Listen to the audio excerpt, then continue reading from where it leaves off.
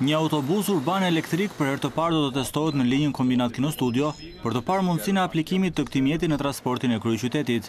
Kompania polake e autobusëve ka shprehur interes për këtë risi, ku pas testimeve dhe funksionalitetit konkret në rrugë, do të dalin dhe kostot të cilat do të shqyrtohen nga Bashkia e Tiranës në vendimmarrjen finale. Është një kompani polake, Solaris, e cila ka gati tridhjetë e pesë për qind të tregut sot të autobuzave elektrikë në Evropë, që ka shprehur interesin për të sjellë një autobuz dhe për të bërë testimet e radhës, pasi duhet që të bëhet testimi përkatës lidhur me funksionalitetin, stacionet, baterinë, kohën që ajo mban dhe kemi zgjedhur linjën Kombinat Kinostudio për të bërë testimet e para. Është një nga linjat që ka ngarkesë më të madhe për sa i takon fluksit të pasagjerëve. Mbasi të vlerësojmë kostot, do përcaktojmë formën e organizimit dhe formën se si do ta bëjmë këtë punë. Besoj që brenda muajit tetor, ne jemi në diskutimet e fundit, nga data njëzet e katër, njëzet e pesë, Kompania polake e autobusëve njëqind për qind elektrik nuk është e vetmja që ka shprehur interes, pasi në këtë fushë janë dhe disa kompani të tjera me teknologji elektrike, por edhe hibride të cilat do të kryejnë teste në Tiranë për t'ia bërë më të lehtë vendimmarrjen bashkisë për një transformim të këtij shërbimi me norma europiane.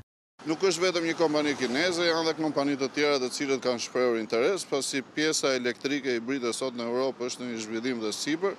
Jemi duke parë, vlerësuar, besoj që do ketë dhe kompani të tjera që shumë shpejt do të vijnë dhe do bëjnë dhe ato testet e tyre. Në funksion të testeve, do të përcaktojmë teknologjinë dhe si do të jetë hapat e mëtejshme që bashkia do ndërmarrë. Por, a duhet të ndihen të kërcënuara kompanitë që operojnë sot në linjët urbane të Tiranës? Nuk besoj që këtu flitet për kompani të rrezikuara, këtu flitet në fillim për të parë dhe për të përcaktuar kushtet teknike, më pas për të përcaktuar kostot e kësaj, Pastaj Bashkia do të përcaktojë kushtet, por nuk flitet për kompani të rrezikuara. A, nëse kompanitë në një fazë tjetër nuk pranojnë kushtet që Bashkia u vendos, ky është diskutim që nuk bëhet sot, por që bëhet në një fazë tjetër.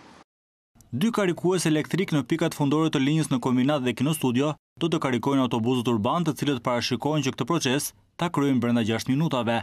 Tirana njihet si një ndër qytetet më të ndotura në vend, ku këmbëngulja në ofrimin e shërbimeve alternative ndaj karburanteve do të thotë më pak ndotje, më pak zhurmë dhe më shumë komoditet në udhëtim.